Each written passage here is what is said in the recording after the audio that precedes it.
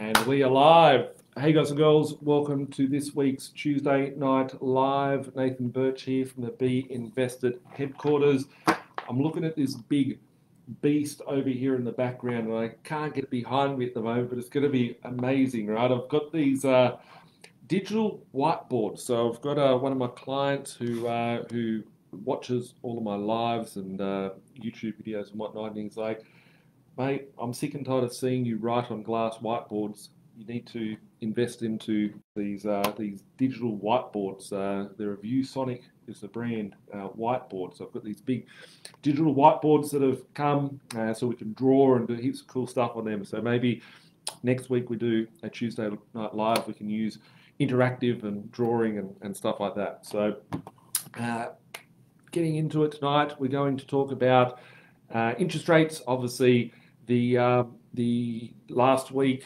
uh, I couldn't do a live. Um, I was stuck on a, a, webinar.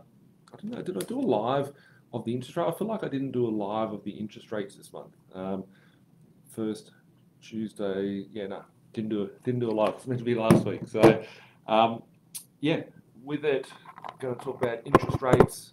Pose your questions. Put them there in front of me to have a look at. Um, and as you guys hop online, I'm going to jump on and uh, read some news articles. So we've seen the RBA. I'm going to read the RBA's uh, transcript um, about rate hikes this month. Obviously, there's increased interest rates. Uh, the more that they are doing this, the more fun that's going to occur for all of us. So a lot of people might be watching and they're thinking, you know, interest rates gone up, scary, whatever. Birchie, you told me they're going to come down and all that. Um, when they come down, it will be amazing. So it's just a matter of, of, of when. Um, I've got here a little comment here from Sam. It says here the one Aussie dollar is now 66 USD. It's been rising and the USD is weakening. US Fed is pivots and cut rates. USD will become weaker and the AUD will strengthen further. That USD was strengthening because of the rate hikes. Once the Fed begins to cut rates in QE, USD will get weaker and their inflation will eventually go hockey stick. Very exciting if prepared with hard assets. Exactly. Thank you for posting that, Sam. I will talk about the US market at the moment. If we look at the US last night, uh, came out from the Fed that they have reached peak inflation at the moment. And uh, the next move that they'll be having is a reversal in monetary policy with interest rates coming down in the US. Just that one conversation uh, that occurred uh, made the Dow Jones jump up by 200 points within a minute. It was like a, a, an instant reaction to that. And, you know, we're seeing the weakening of the US dollar. The US economy, let's just think about what is the US economy, what is the US dollar, how does it play into this big Ponzi scheme that we've got. Um, if you notice, when we buy stuff, we're not buying, when we're buying oil or whatever, we're not buying an Aussie dollar, we're buying in US dollars. So the only thing the US produces is more debt. And, uh, you know, the more debt that they produce, the weaker their currency becomes and the stronger our currency becomes against it. So it's a pretty um, deep conversation to be having. But in short, if the US economy is dropping their rates, uh, that means that their dollar becomes weaker, our dollar becomes stronger, um, and vice versa. Uh, we've increased our rates, which is strengthening our dollar. Our dollar is going to get very strong, but it also means um, we've got other issues inside our own closed loop economy. Um, so, looking at it, the US is talking about peak inflation, they're talking about reversal in monetary policy.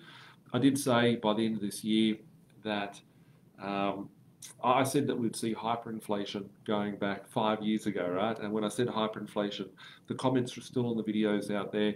People like, get off the drugs, Birchie. You're crazy. You're talking about what you want to happen, not what will happen.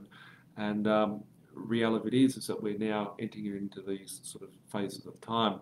Um, sometimes we can be a little bit early to the table, uh, but it doesn't mean that it's not going to pan out to what we're seeing here. Um, so if the US starts tapering and changing direction of monetary policy, that will have a big impact on the global economy because our dollar can't be too strong either. So we've got to drop our rate to keep in line and in sync with the other currencies because if we have a high dollar, then it brings in new issues with people. Um, yeah. So Zach just said the thought of rate cuts makes my missus more excited than I make her. The thought of rate cuts, I think, should make everyone uh, more excited. But I think if we look at the reason why rate cuts will occur, it won't be so exciting. So there's positives and negatives to all these moves that we'll have throughout the markets. But I'm very, very. Uh, there's two things. One is uh, in the short term, I think we'll see slight deflation, um, which isn't really happening. Um, we're just seeing more and more inflation. But we have to look at the jobs data. We need to look at extra levels of data to be able to sort of predict where the next movements are going to come in the market. So I'm seeing stuff like this every day of the week. Um, I I buy hundreds of properties a month myself and clients, and um, I predominantly buy in the residential space, but I buy a fair bit in the commercial space. I don't talk about it all that often because it's more uh, for those that have already built their foundation portfolio and, and whatnot, uh, I buy those sort of assets and not for the base portfolio to do that. Um, but in the commercial space, I'm seeing, um, I've never seen so many liquidations or administrator or receivers appointed sales as what I'm seeing at the moment. I haven't seen a crash in the commercial, commercial space pricing yet, uh, but I've certainly never seen as much liquidation receivership sales of what I've been seeing over the course of the last six months. So there is two markets out there. Um, how long will it last for? Who knows? Um, when liquidity comes into the market again, uh, that's when we'll start seeing those things dry up. So it's a little opportunity there. It's sort of like 2006 and 2005 in the Western Sydney residential property market uh, occurring out in the 2023 um, commercial sector. So um, I'm seeing half-built projects, people that have become liquidated halfway through a project, walking away, from sites, walking away from the commitments, busted up companies and whatnot. So this one here is actually um, a development here says retail investors um, in a $500 million select income fund set to take a loss on half-built project in the city Melbourne after delays pushed up the cost and prompted the fund manager to sell rather than just put more money in. Um, the project was not willing to pay an extra $7 million to engage a second builder and complete the topped up 10 story building after the contractor Multisid was removed from the job. Um, uh, the, the fund manager said the decision was made that it was the best interest of investors to sell and is to move on. Uh, there is potential investors will incur a loss on completion. The valuation would have been around the $23 million mark, but the reality is, is when selling half complete development depends on the level of discount they're occurring. So I've seen some massive, massive buildings out there. Like there's one in uh, Parramatta the other day I saw of 173 units um, liquidation. They're just a mass out there, right? A mass. So if you think about it, if these guys aren't completing their projects, they're walking away, developments aren't coming through to fruition, there's going to be less stock and putting more pent up demand and pressure uh, in the market, which is, is good for those that are holding assets, i.e., you guys. Um, this one here is going to be a big driver for what is to come next with uh, interest rates and where monetary policy is heading. This goes on to read Australia's records the biggest income decline in the developed world. Economists have urged Treasurer Jim Chalmers to overhaul Australia's tax system after new data showed households suffer the largest fall in living standards of any advanced economy over the past year. Inflation adjusted disposable incomes have hit their lowest since June 2019 as high inflation and rapid increase in mortgage repayments and rising income taxes ravage household budgets, newly re released data from the OECD shows. So something very important there is it says um, since 2019, right? What happened in 2019? The markets all died, and they didn't just die and you know whatever. They came up with a scenario and said, well, look, we need to stimulate the economy. If they said, hey, we've robbed everyone, we need to inject trillions of dollars worth of liquidity in the system, it would not have been good and it wasn't a good face. So, you know, they found an opportunity with a uh, illness and uh, they, they injected liquidity. So, uh, for them to inject liquidity, we need to start seeing something that triggers them to have a sort of black swan event uh, to say, hey, because of this, now we've got to make this occur. But it's interesting to see that all the moves that they've made have killed the economy. Um, here's another one of those cool articles. Uh, we talk about um, WeWork going under. This is another bank? Uh, we haven't seen, if you remember back in February, we saw banks collapse. Uh, in February, March 2023, uh, many banks in the US went under.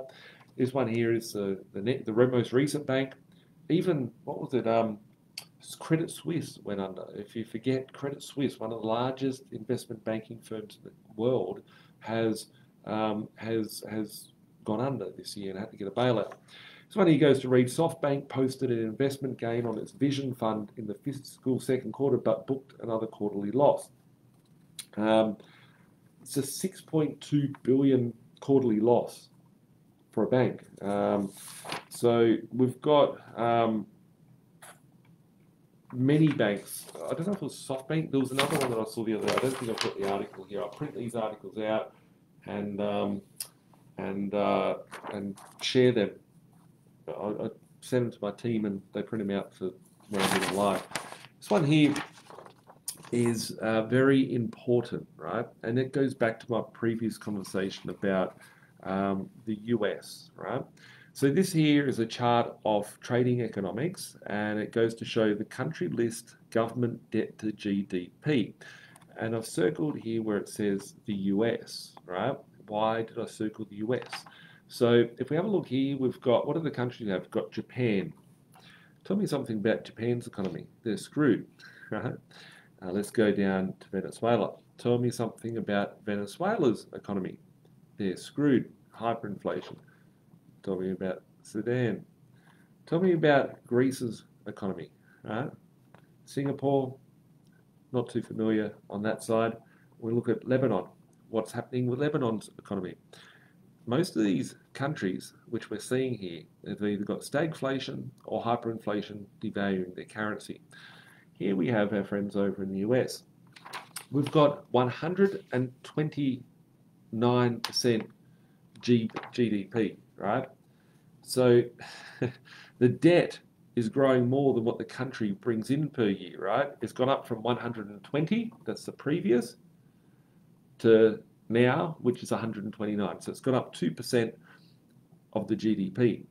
So what that shows is that the debt levels are rising. The more that they've increased interest rates around the world, uh, the more that the bonds have gone up. And the more that the bonds have gone up, it means the more that they've got to pay for the debt. And when they've got to roll over the debt, the more that they've got to pay for rolling over the debt, uh, which means that that will ramp further out of control. So the longer that they're pushing the rates up for, the more that they push the rates up, um, the bigger that this mess is going to be to clean up. And they can't fix this overnight now. The, the, the mess that's being caused is, is way out of line. Um, going to, I'll pull out the RBA's uh, report from the meeting the other week, uh, which I haven't had a chance to come on.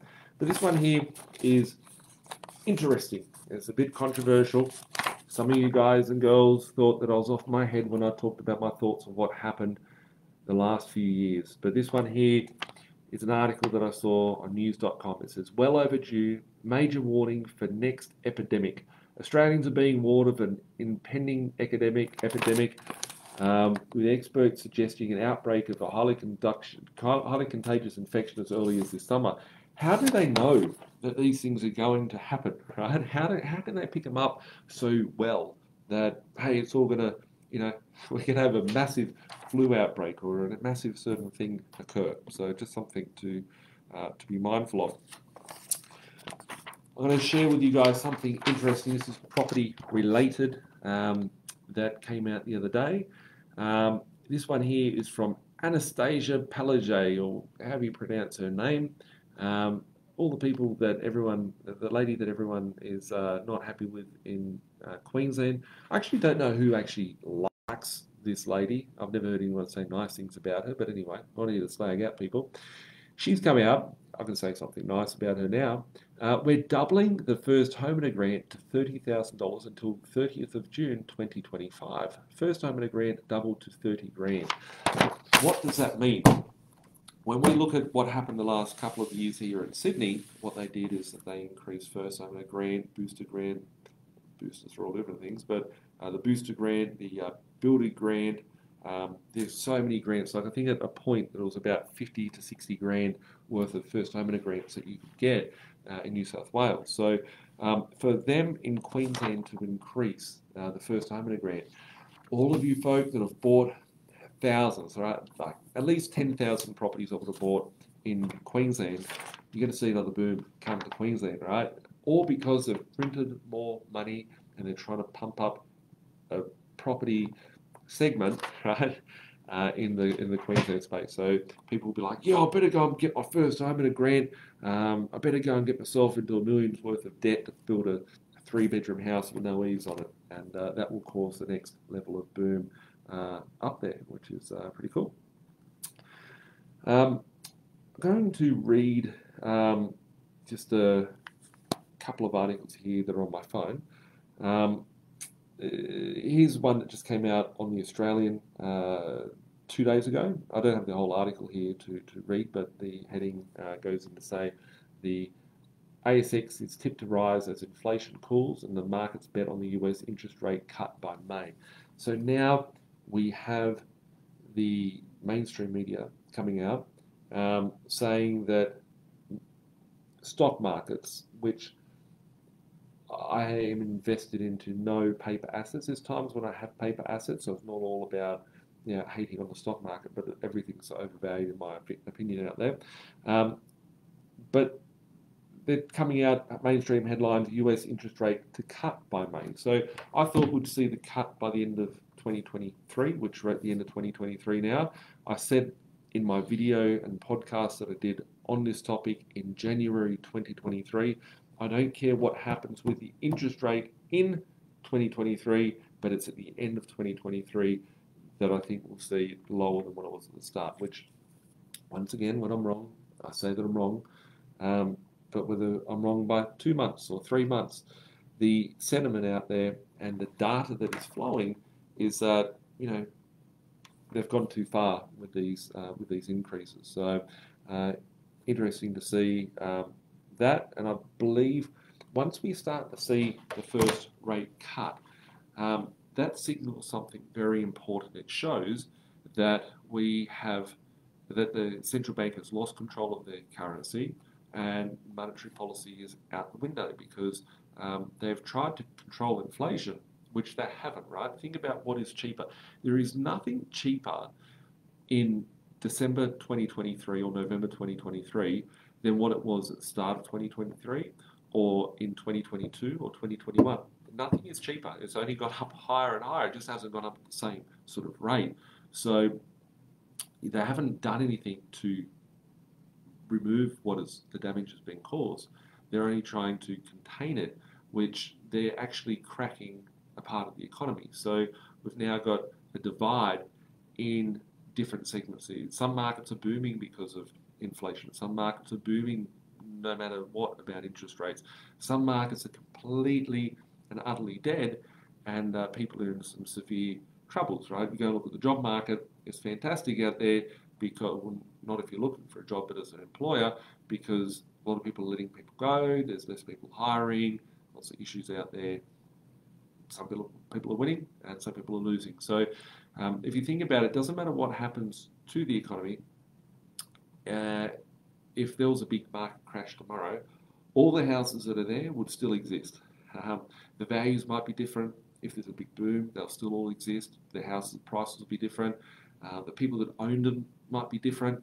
Um, and wealth and assets are always there. They just change hands from weak hands to, to strong hands. And uh, I think those of you that are well equipped, those of you that are knowledgeable, those of you that can prognosticate and see what is happening with the data and what's happening in the future, um, will look at things and be like, yeah, I can make a very educated decision. Here's a bet against the market, which monetary policy has no power anymore. So once they do, it won't just be one rate cut it will be one rate cut. Shit, that didn't work. We need to go half percent, quarter percent, full percent, and it will go down much quicker than what it has gone up. So take it for what it is. I'm not going to sit here and give you guys uh, which month interest rates will fall, but I, I know that we're at the height of our um, of our cycle. I'm going to read an article here. Uh, it's on my phone here uh, from The Guardian. It says Did the US Federal Reserve rein in inflation? Possibly. On November the 14th, remarkably, the US Bureau of Labour Statistics announced the Consumer Price Index was unchanged in October. To be clear, that means the level of CPI was unchanged. It is the rate of growth or inflation, which is actually zero. Um, of course, one month doesn't mean much. Gasoline prices won't plunge by 5% every month as they did between September and October, but there are some also more promising and meaningful longer term data available. The headline CPI inflation rate over the last 12 months was 3.2, far below the 6.5 average in 2022. At the risk of tempting fate, one might say that inflation battle is being won, right? It appears that the inflation battle is being won. However, um, what happens when they do have to drop monetary policy, right? Those that are doing well today, once interest rates come down, I know that 75% of you, 80% of you guys that are watching, we were like, shit, if I could borrow today, I would buy something, right? So once the parameters get changed around out there, there's going to be people running to certain directions, right? This inflation has not stopped. They could it could appear that they've got it under control. Wait until they change course of direction of monetary policy because they are forced to. Um, from the government's going broke, US economy going broke, US dollar crashing, whatever and we will see um, what a hyperinflation looks like. So inflation is not going away. It might appear that it will for six months, 12 months, whatever, but I think we all know when we go shopping. Have you ever noticed, this is probably the funniest thing out there, right? This is the funniest thing out there. Just to have a little sip of water. When I was a kid, my mum would take go would go to Woolworths or Coles or wherever, Franklin's, one of those places, um, and you'd go and push a trolley around, and it would be the deep trolley, right? It's a big fucking metal trolley, and you could put a lot of stuff in there. But when you go to the shops now, you have two different rows of trolleys. You've got the big trolley, right? And you've got the, the little one, which just basically looks like a shelf, right? Looks like a little basket, right? And um, people are pushing around these little half trolleys or a third of the size trolley, right? You put your stuff in there and it feels like you've got a full trolley. Think about it that way, right? Your parents used to come through when you were a kid with a full fucking shopping trolley, right? But now you've only got a third of the size shopping. It's like a shelf that you're walking around with a shelf. It's like I'd, I'd feel uncomfortable holding those little shopping trolleys.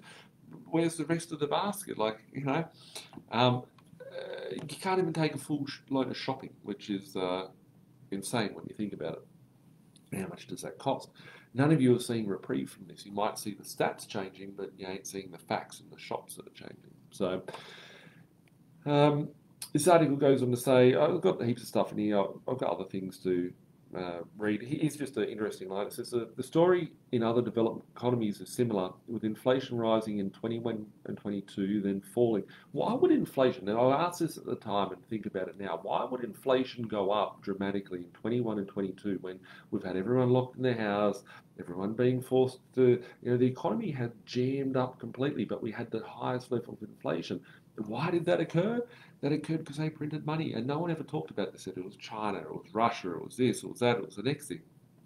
Anyway, it says that other uh, countries lag behind that of the US. Canada, the Eurozone, Japan, UK are all growing more slowly than the US, and inflation in Europe has not fallen as much as it has across the Atlantic. Inflation remains very low in Japan. So it's about keeping their um, their currency at a certain level because if the US dollar crashes or if the Aussie dollar crashes, then that has another uh, flow on effect. So let's just assume if Australia did not increase their interest rates um, last month, yeah, we could say inflation or we could say other things that could occur. Um, um, um sorry, it's got text coming through. With it, the um, what was I saying at the time? Just text never stopped coming through. Um, when if we were to see uh, that we didn't push our interest rates up, what would occur is that the that the Aussie dollar would fall backwards, and if the Aussie dollar was to fall backwards, that would mean that our imports would go up. so we would have to buy more US dollars because the US dollar would rise compared to the Aussie dollar. And that means that everything that we're importing, and we're a consumer society, so everything that we're consuming would go up in value. And that means that um, you know would be paying a lot more, which would add to our bottom line of inflation. So these things are locked in and it's sort of baked in the cake. But we're now seeing um, you know words out that the US is going to change course of direction with its monetary policy, and you know when that day comes, it's going to be very very uh, interesting because it's a matter of um, it's a it's a red it's a white flag. You know, oh we've given up, we're screwed. So let's look at what all the lies look like. So I'm reading the article here from uh, the uh, press release, a media release from the um, this this new chick uh, from the RBA. It always gets me their logo. Look at their logo there. It looks like the devil's head, right? Just go and look at it. It's a very odd website. Not that I know what the devil looks like, but it looks like something. Right? It looks like the evil, the evil uh, dude off the Teenage Mutant Ninja Turtles or something. Statement by Michelle Bollocks. I mean Bullock. Um, as meeting today, the board decision was to raise the cash rate by 25 basis points to 4.35. It also increased the interest rate paid on exchange settlement balances by 25 basis points to 4.25%. Inflation in Australia has passed its peak, but is still too high and is proving more persistent than expected a few months ago. They just said, do you remember um, about three years ago, two years ago, when they started printing off all this cash? Um, they said that inflation was transitory. Do you remember that? It was transitory, right? And then all these different things that uh, that that, uh, that, that have come from it. Um, and it says that it is proving more persistent than expected a few months ago, right? The, the word that just is very odd, right? This is from the the governor of the reserve.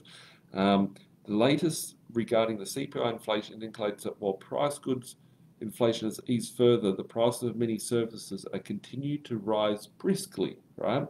So they're increasing interest rates, and at the time that they're increasing uh, interest rates, the um, inflation is going up even further. So I said that at the start would happen. So CPI inflation is now expected to be around 3.3.5% uh, by the end of 2024. So at the end of next year, they're saying it will go down um, and at the top of the target range of 2 to 3% by the end of 2025. So it's another two years before we'll get back into where they're expecting it to be. The board judged an increase of interest rates was warranted today to be more assured that inflation will return to target in a reasonable time frame. They can't control it. The board has held interest rates steady since June, following an increase of four percentage points since May last year. So if you think about it, interest rates are pretty high at the moment comparison to what they were. But they've only gone up since May last year. So even at this point, we're only up 18 months. If you take out a mortgage, you're taking out a mortgage over 30 years, right? 30 years at 12 months, that's 360 months. 18 months out of 20 out of 360 months of a mortgage. It's not really that bad, but people get so focused and caught up on it, like, oh shit, you know, this is what it is. But this is a time to be able to get your life in order and be able to um, you know, adjust cash flows. If interest rates, someone just said beforehand, um, if someone said here beforehand, uh, it's another screen over here actually, I've got two screens here, um, that um, someone asked, uh, wouldn't rent go down if we see another catastrophe like we saw a few years ago? Um, the catastrophe we saw a few years ago caused rents to double. Uh, I saw a report the other day. Um, I forget where I saw it. Uh, it's not here in my articles. I did share it with the team. Um, there used to be about 10% of rents, and I did this stat once beforehand, that were below 200, that were 200 bucks a week, I had a two in front of them, and then it went up to 300. And I saw a report the other day that said um, there's only 11% of rents in the whole market that are at $400 per week or less, right? So literally rents at the lowest end of town have doubled in the last two to three years. So um, would rent go down if there was a catastrophe?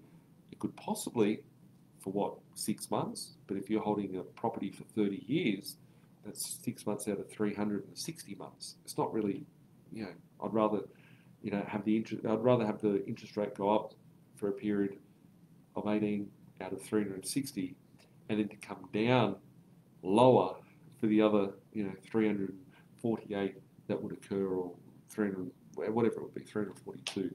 So, um, yeah, just interesting to be looking and, and seeing how long, because it might feel like it's been all eternity that interest rates have gone up. Um, they're saying that interest rates and inflation will stay to where it is in 2025, but if in March in 2024 uh, the US starts dropping rates, the same thing would occur because we saw them all go up at the same rate and they come down. They're, they're linked together because of our currency. So, yes, um, I think there's a lot of fluff in there. Um, I'm surprised they put it up. Um, I'm not surprised. Um, I believe personally that they're pushing it up because they're at 0% interest rates. They had to drop interest rates when they're at 10 basis points. So at least they can come back to you now and go, oh, well, we've got everything in control. We've fucked the economy. Uh, everything's dead. Everyone's, you know, got no jobs. Business has gone broke, whatever. Uh, but, you know, interest rates are coming down and they're back to 10 basis points. And uh, surprisingly, China's caused an issue. We've got a virus happening, climate change, someone blown up, whatever. Um, uh, we've had to drop the interest rates because of that. And oh, look at this, inflation's just ravaging the world. you can see it, it's writing on the wall. Um, uh, it just takes me back, like that statement I said just a moment ago. Inflation in Australia is past its peak, but is still too high and proving more persistent than expected a few months ago. These guys are saying they cannot control inflation. What comes when they can't control inflation? The currency crashes, hyperinflation kicks in. Fixed assets go up, debt becomes worthless, cash becomes worthless. Um, very interesting. Um, so if we look at their CPI, if you go to the website, uh, the CPI says it's 5.4%. Reality of it is, if you go and look at most things, I would think you'd be looking at you know 15% um, is probably three times more higher than that. So, yeah, just uh, interesting world that we're living in. So, today, um, how to navigate rising interest rates. I have talked about this uh, beforehand. I don't know if it was on Facebook Live or whether it was on a podcast I did recently. Um, but there's going to be one more rate announcement uh, this year. I do believe that they've gone way too high, right? Way too high on pushing up those rates. But whatever they do, I'd love for them to push the rates up. Right? The more that they push them up, the better. Um, each month, when I look at my rental increases at the moment on behalf of my owners, uh, a lot of people don't realise. They go to me, Nathan, why uh, do I? What's the difference between Blink Property? Uh, I can see that uh, I'm sharing this probably for the first time on Blink Property. One of my team have uh, connected this as a cross post to Blink Property, so might have someone else watching over there. Um, we run a, I built and I run and I'm very actively involved in a property management firm uh, which I created uh, 11 years ago now called Blink Property. We manage properties nationally and uh, looking at the rents, what happens every month is my team will send me um, uh, all of their rents, their their view on what the rent should go up, and I'd say about 80% of the time I'm like, cool, the team's on the ball, and then I look at it and I'm like, hang on a second, I don't agree with this one, I don't agree with that one, I don't agree with another one, and those rents might go up an extra 30, 40, 50 bucks per week. Um, and that's looking at all different layers of data that's occurring out there in the markets to make sure that you know we're keeping up with the level of inflation.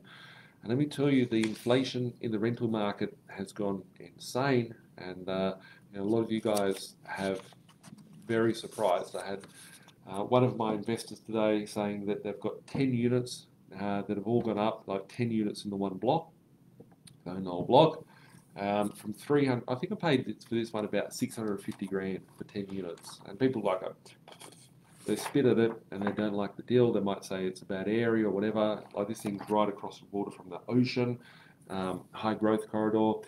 Um, I paid 650,000 at the start of 2022 for this investor. The rent on the 10 units are $330 per week. Uh, the rent is going up in January to $380 per week per unit, uh, so it's an increase of 50 bucks. which have came up. They were 200 bucks a week each, so two grand a week, and now we're getting 380. So it's almost 180 bucks a week um, per property. That's 1800 bucks a week. That's 90 odd grand a year that this investor's getting extra cash flow. So if interest rates didn't allow for certain things to happen, they've certainly allowed for other things to happen. So we've got here a little, little note here from our friends over in uh, in uh, in New Zealand. Auckland rental increases are up 8.5% year on year. And that's just the data that they're sharing with everyone, right?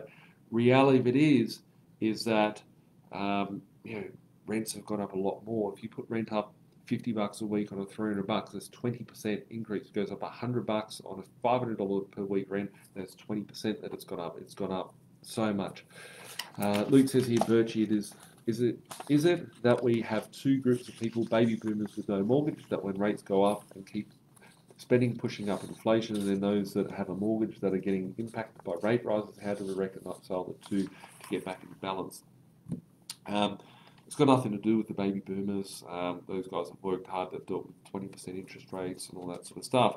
Um, there's a lot of, there is multiple different markets out there. Yeah, you've got the market that um, is impacted with the mortgage increases, but as I said beforehand, those mortgage increases are over a period of 18 months. Let's say another six months, interest rates come crashing down. What happens? That's two years, that's 24 months out of 360 uh, months worth of um, interest rates that you'd be paying on a mortgage. It is not, it's just a blip on the radar. Chris just wrote here inflation is eroding their savings, exact, exactly their retirement ability. They retired with a half a million bucks. Half a million bucks in 2019 buys them a lot more than what it does in 2021, buys them a lot more than what it does in 2021 than what it does in 2023, and the flow on effect will be the same. So it all depends on one's position, and this is just the market. It's just it's a game that was created by these bankers, and uh, one of someone that watches these quite uh, religiously every week um, did me did a podcast with me a while ago, and uh, he asked me, "Hi George, if you're watching," and he asked me a question after his podcast that I filmed with him, and uh, he said, uh, "What would happen if we went back to a gold standard?" Right, and uh, I, I, was interesting, and I looked back, and um, when there was a gold standard with a real money that was attached, property did absolutely nothing. Right, property prices for 100 years did nothing in Australia, right? They went up and doubled over 100 years, right? Stupid as shit, worthless, right? But property really started to take off uh, 1933, uh, 1960s, 1970s, and it just continues to go up higher and higher like a hockey stick. And uh, that has nothing to do with, you know, a little bit migration and stuff like that. But what it has mostly to do with is that they've manipulated our currency to the nth degree. And uh, I said to him, he's like, "Oh, that's interesting," because we're just chatting about it after the podcast, and it's like that's interesting. And I thought about it, and I was like, "Hang on a second, um, we shouldn't be angry at the bankers' game, right? They've created this mess and all that, and people feel like they're hard done by. But if it wasn't for these lovely people out there, if it wasn't for the Federal Reserve, if it wasn't for all the banks, we wouldn't have a table to play at, right? I am thankful. Actually a video thanking the, uh, the, the, the, bad slippery hands that are out there. Um, and I, I, I thank these hands that play because if they didn't have this system for us to sit at the table, we wouldn't be able to have a game to play it. So if you can understand their game and how they benefit, then it's um, you know that that game is for us all to play. So it's very important. Um, Chris said a gold standard would bring everything back to an even playing field. It would be honest, yes, uh, but it wouldn't be good for us guys and girls that are trying to make money and capitalize on anything else apart from money. So, um, it, it, yes, what's right and what's not. I'm not saying it is right out there, but they've created this table and everyone should be playing at it, and that's really, really important. Um, the um, Paul just says, "Am I correct? Someone paid 650 grand for 10 units. Yes, so 65 grand a unit, and they rent for 380 bucks per week each. Yes, uh, so it's 3,800 per week. Some people will be like, wow, that's a great return, 200 grand a year on 650. Well, at the time of buying it, it was 100 grand a year and people didn't see the value in it. And this person I sent it to, they said, yes, they're a really smart investor with very good position and their portfolio is reflective of the efforts and energies that they've put in is from their hard work. So, yeah. Um, yes, questions here. Uh, are you keep are you keeping an eye on the government plans when it comes to limiting the rent increases? If you don't want your council rates to increase, they can say all these things. Good luck to them. There's no real way of policing it. It's like another land tax grab thing that they're talking about. I have zero. Uh, I have zero concern about that. Um, if they do try and control rent caps, here's a, a fun game to play, right? Who's ever watched that movie McDonald's, the founder, the founder, right? And they say you can control the business, right? But the business control is via the land. So it's the land that you own and the stuff that is controlled. So the government's trying to impose these laws on people being landowners or whatever because you don't really own the land or you don't really own the property. You can pay for your mortgage owner outright, but you still, if you go and look at the contract, right, this is why the whole matrix and the whole system is fake. Um, it, it, says that you're a tenant in common when you're buying a property, right? It's not saying that you own it and you're the crown or whatever. So you have all these underlying levels of government and commies. So if we did get to such a communist state, and what I would do and what I would encourage with everyone. And um, I own lots of you know, um, infrastructure from in the real estate industry out there, right? I own rental, I can control markets when it comes to rentals because we've got such exposure and stuff like that. We could just decide to take properties out of the rental market, right? Imagine we say, okay, um, 10,000 properties for rent we're going to take out all the tenants, get out, everyone get out. Imagine that. Just think that for a second, right?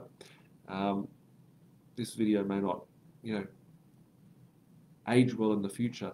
Uh, not from me getting aged, but what I just said there. Just think about that, right? We get 10,000 properties, taken out of the market. That would cause a big impact. That would be a very negative thing in the market. So yes, they can try and control things. What about if there was a corporation that rented everybody's property? And then on top of that corporation was a business that run. They're talking about a landlord putting up the rent. But what about if you just think about it now, right? You've got BlackRock, Vanguard, all these bad bankers out there. You, see the glitch there, right? You see the glitch, right? And that's why I see the importance of you want to own the racehorse or you want to own the race course, right? You can control what horses play on that game, right? So, looking at um, you know the parameters, BlackRock and Vanguard and State Street and all them are building these housing funds, buying up houses by the thousands and doing whatever they want with them. They're controlling areas of the market, which is not good for people, right? There's talks about Amazon housing, like Amazon, the company and stuff, like on the internet, about them coming in and buying up housing. Who knows what they're going to do in the future? But people got together. Well, what about if you didn't rent your property? Let's say that you guys watching this decided to rent your property to a big corporation, and that corporation then decided the rules to play with. They can't attack the corporation because the corporation is bigger than the lobbyist groups. Yeah, there's certain things out there. Probably not going to be me. Be a lot of other people out there being able to do that. But um, I'm not concerned by that at all. Um, doesn't make the decisions I make when I get up in the morning or, anything like that. So um, I'll go to some more of your uh, comments here. Um, uh, keep the comments coming. Um, you're right with mainstream media announcing taming rates. Uh, yesterday, Birch Dow shot up overnight. Imagine reaction with a 1% drop. If the interest rates dropped, right, you'd have all the scaredy cats and all the ones that, oh, don't do it, whatever, right? They wouldn't do anything for another 6 to 12 months, right? It's that window. The day that interest rates drop, if you don't try and get your loans restructured, equity out, the best interest rate product. When I say the interest rate product, it's not the interest rate, it's a product. You need a 30 year product that will take you for that next journey, right? If you don't restructure your debt, the first day, take out your equity, and go and jump on all these assets, people will, right? The boom that will come won't happen the day the interest rates drop by 1%. The boom will come that 6 to 12 months afterwards, and everyone will be like, I can't get a property that used to be 300 grand. Now I can't get them under 600 grand. Oh, how dare they do this, right? It's this person's fault. It's that person's fault. But um, I'm just waiting for it, right? I'm set. Um, my goal uh, next year is probably to pick up another 100 residential properties myself. That's going to be my goal. I'm just going to throw it out there, right? My goal for 2024 is to buy 100 residential investment properties, 200 grand properties. That's it. Simple goal. Next year. That's my goal. I'm preparing myself. That's what I'm doing. Um, I'm just going to have that one goal for my portfolio. One goal. Um, that's the goal. So when that day the rates drop, happy days. Um, so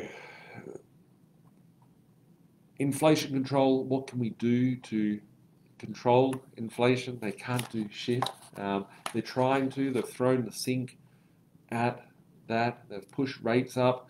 Um, the rates have gone up. Just think about this, right? The first rate went up in May 2022. It's been 18 months in November 2023.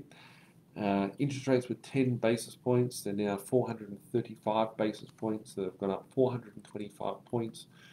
425 over 10 is 4,250% increase uh, on interest rate. You might sit there and say, well, my interest rates have doubled. They haven't gone up 4,000 times, 4,000%, uh, or 400, 4, 42.5 times. They haven't gone up by. Um, no, yours haven't, right? Yours haven't. But when your government takes out a bond, corporations take out debt, right? They have gone up 42 times, right? Because we're not, we don't get the opportunity, um, we don't get the opportunity to pick up these interest rates at 10 basis points or 425 basis points. It's a premium. Whoever's got their little grubby mitts on, and you know, given that to you, you're paying a premium, and your bank's probably taking three percent on that, so you might be paying 7.25 percent on a or 7.35 on a 4.35. If you can get that as low as you can because when the rates come smashing down, it will be the biggest um, you know, uh, increase that you'll see. So, looking at um, the questions coming through, uh, Gladys, uh, the front runner for Optus CEO job. it's funny, right? When you start seeing the digital identities coming through because of identity theft and all those sorts of things, you think, who are your mates that you're in business with in the political space, and they're coming over as well, doing deals with contracts and different things. It's all a bit of a grey, dodgy pile of stew there. So um, yeah. Um, uh, Uh, Birchie, 100 properties in 2024. Plenty of people in 2770 will be saying thank you for paying all that stamp duty on a Thursday. Total, total uh, win. Um, look, it's uh, it's inevitable, right? To pay lots of taxes out there. The the, the, the matrix and the commies want to try and take as much as they can. It's a matter of being smarter than the uh, the average bear. And uh, yeah, I, I I look at it. Um, Joe just said here, 100 properties go for 200. I'm going to make that my goal, right? I just thought about that. I'm going to make that my goal, right? I've done one of my big goals. There you go, right? I normally do like hundreds of goals. That's just one very simple goal I'm going to throw out there on a property front. I've got business goals, I've got other asset goals that I'm doing and, and whatnot. But um, I think that would be a really good position. And I've been able to, I'll only be able to go and buy 100 properties due to the fact that I have the capital in doing hundreds of properties for the years beforehand and the, the decades beforehand. It's two decades now. 2023 is two decades of buying assets. So if I didn't do uh, that, I wouldn't be able to be here. Luke said, How's the 100 motel goal going? Not as good as what I'd like it to be. Um, what I mean by that is I'm only at about 25. I've been in the industry for about two years. I'm probably the largest motel owner in the country, like as far as keys goes, the fastest growing uh, motel group out there. It has been clunky along the way, lots of things that I didn't know anything about. Um, sometimes I think, fuck, why am I doing this for? Just like somebody like, why am I buying five properties and I've got a tenant that didn't pay rent or whatever the case may be. But it is just a um, you know a part of growing, learning, refining your systems, processes, procedures. Um, I'm way on track for that. And if I really look at it, like I set a goal in 20, oh, I was 30 years old, so it was like eight years ago. And I said I'd be a billionaire by the age of 40, and uh, inflation is doing a wonderful job of helping me get there. And uh, will I be a billionaire by 40, or will it be 41 or 42? Who knows, right? There's still two years to go. Um, yeah. Maddie says, if you had to borrow with a third tier lender, would you? I've borrowed from anyone, right?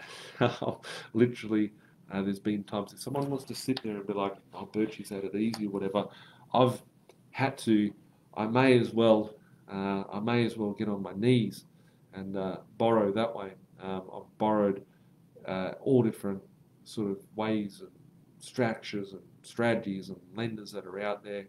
Um, third tier lender sounds like fun. Uh, there's a lot lower ones than that, and um, you know I've, I've, seen people that get borrowing. There was a point when I got stuck about seven years ago. Uh, like I've had my, my troubles over the years, right? And uh, there's a time when I got stuck at, um, you know, I had about ten million dollars worth of property settling, and today if I had 10 million settled, I'd be like, oh, well, that's all right. We'll just shift this and move this and do that. But seven years ago was a long time in my portfolio, uh, in my asset position and net worth. And, a lot less grey hair and, and, all that sort of stuff. But um, I, I, I had to get interest rates of like two percent per month, two and a half percent per month, and they were like, someone just said, go with private mortgage and go with a bang. Um, I've, I've been to all those positions beforehand, so I don't suggest people to go and do that. Uh, second and third tier lenders, there's some very wonderful products out there. Uh, definitely got them in my portfolio, got all all the way through. um, and uh, you know, I, I, um, yeah, I, I, think that there's, you know, if it's going to be a good pushing point for you to get to your goal, if it's going to help you get there, you need to factor into your cash flow. There's lots of um, moving parts in a portfolio. Definitely not worth something laughing at or spitting at or whatever. If someone said to me today, "Hey, Birchie, I'll give you, a, you know, 10% interest, go and buy 10 million worth of property," I'd go, "Cool, let's take it, let's go." Um, depends on the terms, depends on that. It's a 30 year mortgage. It may not be that, you know, disrespect, disgusting, right? Some people like, oh, it's eight and a half percent, not seven percent. I want seven percent. It's like, well, if you're gonna let one and a half percent of an interest rate impact you, you can go and get the rent and push that up to cover that. Well, then you're letting fear get into your goals. So yeah. Um, uh, we're all going grey. Yeah, it happens. If we're lucky, we all get to go grey. I've got good crop of hair here. Um, I'm 38 now for the answer of how old I am now. Uh, must be using a finance when purchasing through your company? No, you're free to use whoever you wish. Uh, Rose, who is the head of Zinga Finance and my team, um, I uh, Rose has been my broker now for about 20 years personally, uh, going back three, four years ago. Uh, Rose came on. I asked her to please come on and help um, with my team, and she uh, has so much experience there. Got a very knowledgeable team, and we're consistently growing that team. Um, and she shares her knowledge and wisdom to be able to um, you know, get that knowledge out to everyone. So I know when building a portfolio, there's not. I see people that going back 10 years ago, 15 years ago in the business, people go, What? You're a buyer's agent. You want me to pay you to buy a property? And I'm like, Yeah, that's what we do. We charge a fee and we buy a property. You buy it 50K below market value. And they're like, Wow, I can go find a property myself. I'm like, Off you go, go find it, right? No one knew what a buyer's agent was. Nowadays, you see all these property gurus out there that um, that own nothing and uh, they, they, they've got their, their stripes on the back of a Kellogg's box and uh, they are a buyer's agent. And um, what that's done is you know, made the industry. Everyone's like, wow, you are a buyer's agent. Oh, okay, cool. So I'm okay for it from that perspective. But what I do see is these guys haven't built a 10, 20, 30, 40, 50 property portfolio before. Neither has their team around, their brokers, their accountants, their lawyers, whatever. So there's not the knowledge out there. So I see people talking about buying properties, buyer's agents, whatever. they don't have the knowledge on being able to build a 10, 20, 30, 40, 50 property portfolio, so they wouldn't know how to structure that from a lending perspective. So, yeah, you can get people that can get lo- uh, loans for you, but structuring it, it's the, the, the biggest uh, part to it. Because I see people go, oh, we'll just get a 95% LVR and we'll cross collateralize the properties and the best way to go about it is use a smaller deposit, and they're all out there just to screw you up. And you get stuck at four properties, and you go, "How do I get to 20 like on a Virtues uh, community?" And they just can't get there. So yeah. Um, so yeah, interest rates out there. I've seen them six point two for a owner occupier, seven percent depending on the lender. You know, seven and a half, eight percent. Um, yeah.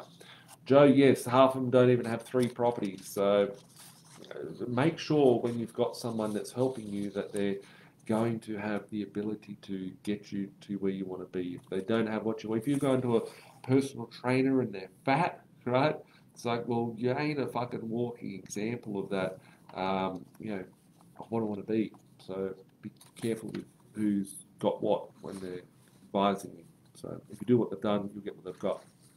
So, yeah, one of the other things is like uh, we're talking about this um, this beforehand. The uh, first time in a grant, I did a video or a podcast actually. I filmed the, the podcast um, the other day about should you take a first time in a grant or not. Um, they can be good for some people, uh, they may not be good. I think that that podcast will be coming out this Thursday. So if you are not familiar with the podcast out there, uh, it's called the No BS with Birchie podcast. You can find it on Google Play, Apple Play, Spotify, and YouTube. Um, I understand that people that listen to the podcast don't know I do Facebook. Uh, people that know to do Facebook don't follow the podcast. It is different content out there. I filmed this. Um, this uh, is actually people ask me where's the podcast Birchie, and some people text me and said, "Are you okay?" And that I had a bit of a change in some of my, my team here. I've grown. I've got a videographer coming in next year. I've got some more staff um, in my um, communications team. And um, I just, we ran out of podcasts and I've been too busy to film them. So I had some little breaks and I was able to film a couple of podcasts on my phone, embarrassingly enough. So there's no video, it's me with the podcast, filming it from the phone. Um, uh, I've started filming back again, so there's some scheduled in. And this Thursday, I'm filming another half dozen of them to get us through the summer period. Um, so yeah, with it, make sure you do listen and subscribe to the OBS Birchie podcast every Thursday. I do. That's not my closing line of the podcast. That one, but um, I did go into quite a lot of detail on the first home the grant. So if you are a first homeowner, uh, you're thinking of getting started, I reckon out of my investors that I work with in my community, um, I reckon probably 50 50 uh, people coming on for the first time come to us. Uh, people that have got two or three properties want to get more come to us. But if you're a first homeowner, you can be easily, uh, uh you know, caught in by the lights of all this. Uh, first a grant is very good for a, a person like myself or you guys as investors. First home owner grant isn't really good for a first homeowner. So be careful. I'll put caveats on that. Listen to the podcast coming dropping shortly. Um, Andrea shared the link to it, the podcast, the Apple link uh, in the uh, in the in the description. So thank you, Andrea. Um, uh, oh wow, Chris said here, boy oh boy, I'm currently with a reputable buyer's agent who still hasn't been able to find me a property after 24 weeks. What are you finding to be the time frame to find property? as a buyer's agent, this is a bit off topic, right? A bit off topic. I was talking about interest rates today, but we're in the question section now, part of tonight. Um, I don't run a buyer's agent where it says, "Hey, can you, um, can you find me this? I want it to be this, this, this, this, this." Um, the uh, I run my office very differently. I do all the purchasing myself. People tell me what they want to achieve. They've got to trust the process cliche as it sounds. Um, so I run my business as far as building in that portfolio. I give you what you need to build that portfolio.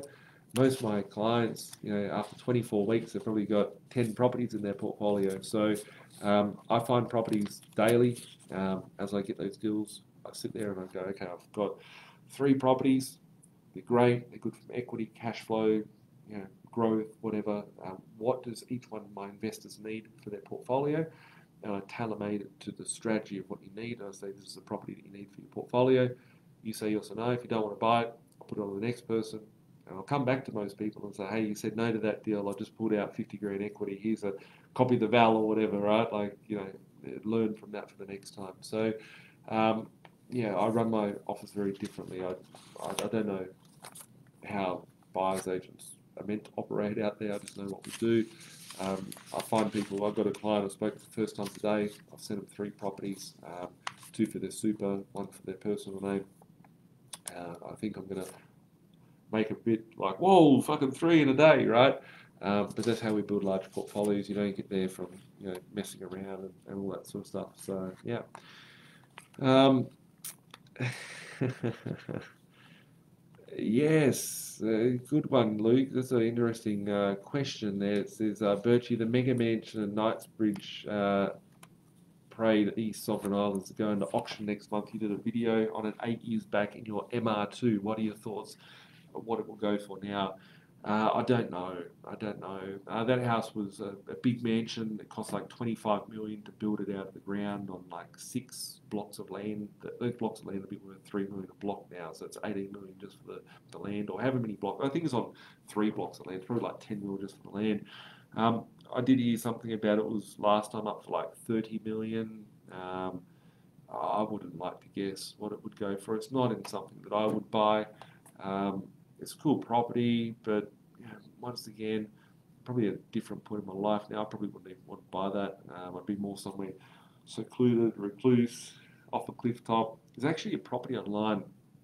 Uh, there's actually a property online that I'd like to buy. Maybe people can play a guessing competition which one it would be. There's a property online. It's in New South Wales. It is a baller house. It's too much for my budget of what I would be wanting to spend, um, but I'd buy that one day. I'd buy it one day. It's a fucking baller house. But yeah, those things there now, yeah, I wouldn't like to guess. Maybe 30 million, maybe 25 million, maybe 40 million. The market has gone nuts. I actually own a, a property, own a block of units uh, just off that street, uh, not on Sovereign Island, just outside the Sovereign Island. own a block of units out there, um, which is pretty cool. It's done done great. Um, John said here, Birchie, can you do a podcast on buying properties through your super if you haven't already? I will do that actually. I will do that. I can't give financial advice. I might actually get my cool, like this thing here, if I give some aspect, I just said give me the biggest screens. I've got one that was not as big. I think it's like 80 inches, and then another one that's bigger. And uh, this thing takes up a whole fucking wall here but it'll be cool for videos and podcasts. So I will get on the whiteboard. I can't give financial advice when it comes to super funds, but I will. And if the regulators want to have anything to say about it, they can get stuff because I'm not. I'm going to talk about it with general sort of views and general stuff like that. You can add and sprinkle your thoughts and stuff like that in between, and I'll add a lot of disclaimers in there. Uh, not that I like financial advisors, but a, a sensible thing would be speak to a financial advisor, or the other one would be, um, you know, make sure you do self research and all that. So um, with that, yeah, I will do something there for you. Um, George has asked, can you do a podcast on the evil elites who rule the world? Uh, I could actually do that. Um, a lot of people think it's certain banking families. Uh, there's lots of different bloodlines and different types of blood that people have, different types of bloodlines, uh, different types of ruling families. And the people that everyone pokes fingers at, there's like 13 bloodlines that rule the world. And uh, yeah, I could do a podcast or a video on that for you, George. Um, I'm actually do something here, folks, as well. I've got another page um, which I, I, talk about stuff which could be deemed as conspiracy. If I was ever to get a page to be cancelled, I wouldn't want it to be one of these pages. Um, so I've got another page which a lot of you may or may not be on. It's called B.Decentralized. So not B.Invested, it's called Be Decentralized.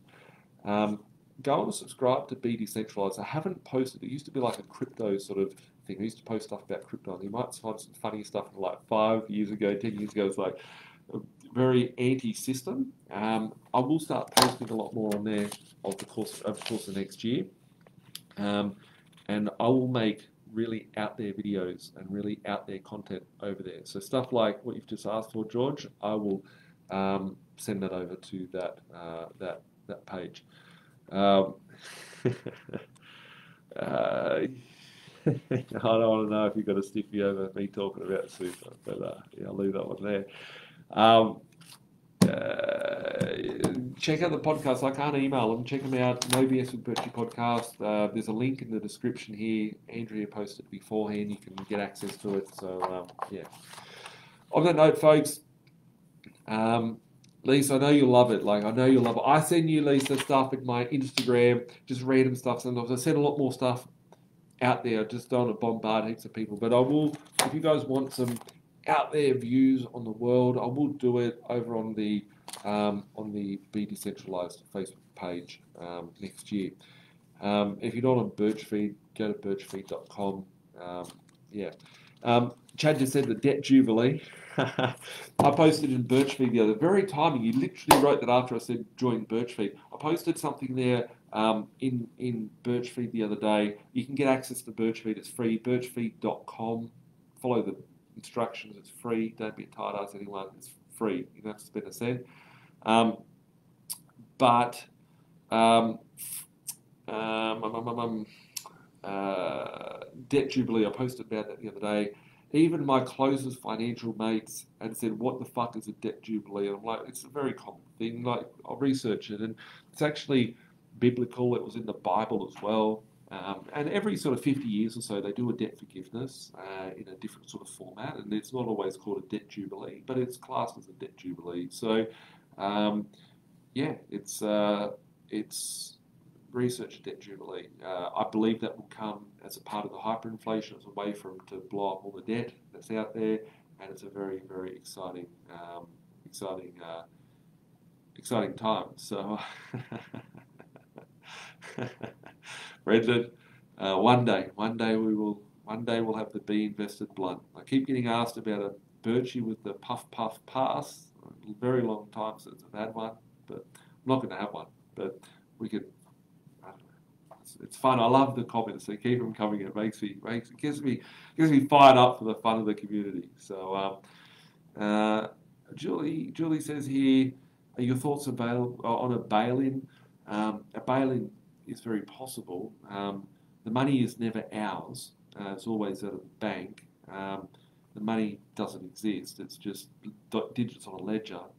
Uh, a bail-in, when we go completely cashless, we will be on a bail-in because you can't get your money out. There's no in and off ramp, so you're always trapped in the bank. So it's um, yeah, I, I I don't trust I don't trust uh, big amounts of cash. I'd prefer to have uh, asset to bring in cash flow. Uh, I keep talking about that. I try to keep as little amount in the bank as possible.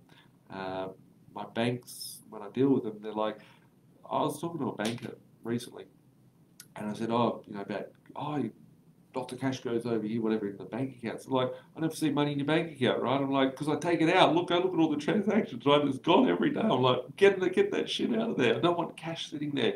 Um, in a lot of uh, scriptures, it actually says, I'm not going all biblical on everyone, but actually says it's bad to hold money because it's, it's called currency, right? And currency, just like the sea of current or the, the sea of, uh, or the, the currency running through your electricity, it needs to be moving to be effective. And if you have stagnant currency, um, it's kind of a, a, waste. So, yeah, that's, um, yeah.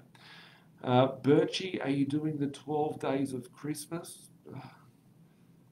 I won't uh, be dressing up with a big grey beard or anything, but uh, I will put deals out there. I think I've got 23 deals of 23 coming out, so there'll be like just a few deals that we've done of this year, which I actually just recorded it uh, on my phone. I, have found I've been so busy getting the time to record new content lately has been a bit of a troublesome thing for me. I've just got so many things that I've been working on business wise, property acquisition wise, all that.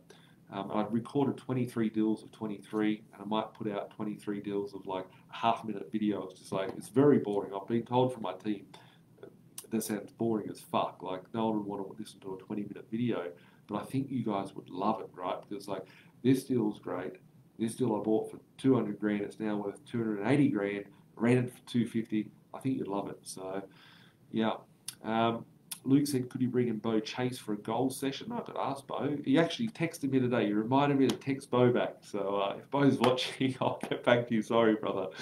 Uh, but yeah, I'll see what I can do. Um, we will have another pod, another webinar coming up shortly. Last Tuesday, I was double booked. Like, this is how busy I've been. I didn't do the the Facebook Live last Tuesday. It's every fortnight we do it because I had another webinar for a speaking arrangement on behalf of a, a real estate uh, offers. So I did a presentation for them, and it overlapped. So I had to choose, and I was like, I'll do next week for Facebook. Here we are. Uh, Adam just said, I'd love it. Um, I don't know what you're referring to there. Just uh, let me know what you'd love to, for me to um, for me to do. I think that that might be referring to the goal session one. If that's that, um, just let me know what it is, and I'll take a note of that, and my team will take a note for that, and uh, we'll go from there. So. Um, 23 and 23, yes, yes, it's, it's going to come out. So just keep an eye out. Maybe start of December. Um, second of December maybe we'll do 23 deals in 23. So uh, I thought it was like it, was, it sounds very boring. I'm like, oh, this deal is really great and it's great because it is. It might sound very monotone. I was reading Excel sheets with some valuations and stuff on it, but I'm fucking pumped by it. I think you guys would too because when you see if you overlay my boring video, chop it up into 23 videos, and then overlay that and think about how much money if you had bought those 23 properties or your portfolio had 23 properties in it, it would be uh, quite awesome and amazing. And that's what people are doing. So that's what I think is cool. So I will do. Um, cool. Um, on that note, guys, I'm going to leave it at that. It's been a nice one hour chat. Um, I've loved the engagement. I can see we've got 88 comments here. 30 reactions. If you if you like tonight's live and you want me to come back next week, I think I've got one of the team members next week. Maybe it's Jeremy. I think it might be Jeremy Johnson, and everyone loves Jeremy, right? They're like, "Fuck this guy, keep bringing him on," right? If you like these videos, please share them with your friends and family. Tag all your friends and family in here. Um, smash up a like, uh, smash up the love heart, smash up the laughing face, whatever it is, and um, yeah, I'll be back next week. I've got one on next week, and we, we go from from there. Uh, Mikey said here, and I'm going to do a video on this. Uh, I'm going to take a notice in a second. It'd be really cool to see a hundred grand start and then growth sheets on someone, some of the deals over the last couple of years and how you'd scale up. I'm actually going to ask one of my investors, and she knows who she is. I'll talk about it for a bit. Um, I'm going to ask one of my investors. She started with about a hundred grand. If I can pull out all her properties and do a, you know, a snapshot of that to show you real time when it's happened over the last couple of years. so I'll do that. On that note, folks, thank you very much for tuning in, spending your Tuesday night, or whenever you're listening to this, uh, you know, being a part of this. Um, we'll catch up soon. If you need help, there's a link in the description. I've seen a couple of you guys saying that you've got a buyer's agent that you think is shit. Uh, your words, not mine. You didn't say shit. You just said that you're really frustrated that it's taken so long and you haven't been able to do it. If you need help structuring the portfolio, you want to engage with me and my team, I'm very active every time. I, if I say I've bought a deal for someone, I've done the deal. I've built the portfolio for that person. My team are here to help assist you. If you want to start that journey, uh, you can log in or click on the link, uh, start a 15 minute chat with one of my team. Um, you know, my team are all property investors themselves. Um, I've got you guys that have started, they, they're young and they're like, they come from the real estate industry, and they've got like one property, two property, three property, four properties and they're like in their teenagers and 20s and, and whatnot. They've got like five, ten properties going in their portfolios as well. So we're all here on the same journey. Uh, click on the link, follow us, uh, book in a chat, and uh, we'll go from there. We'll catch up soon, guys. Thanks a lot for watching. Have an awesome week. Bye for now. And remember, Thursday, new podcast dropping over at the No BS Birchie podcast. Bye for now.